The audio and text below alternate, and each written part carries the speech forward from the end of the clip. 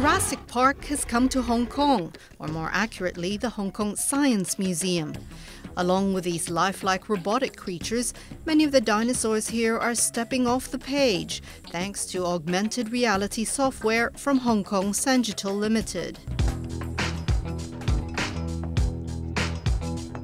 The AR technology um, is the part of um, the Science Museum's dinosaur show's uh, feature or selling point. And uh, we licensed it from the Astri um, to adopt in our software app with other our own uh, patented technology together.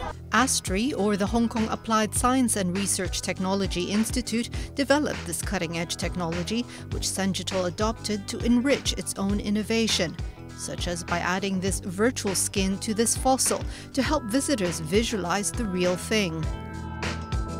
Uh, the reason why we license uh, Astri's uh, AR technology because uh, we want that um, um, pattern recognition more stable so that we can use a very beautiful um, poster.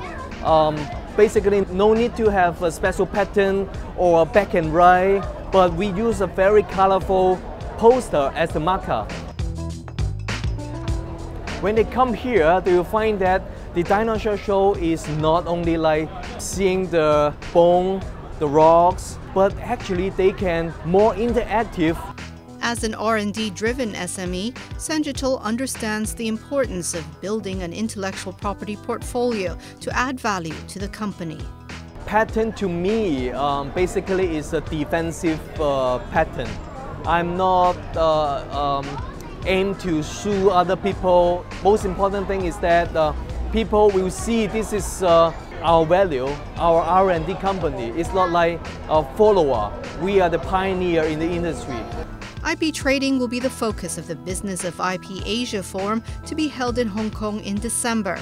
Companies large and small will offer insights on how SMEs can climb up the value chain by building a strong IP portfolio, whether through developing their own patents or acquiring them from someone else.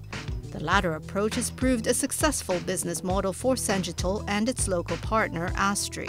This is an encouraging example to, uh, to me or to my company as SME because uh, always we face the limited resources and to, you know, uh, we cannot uh, do everything on our own.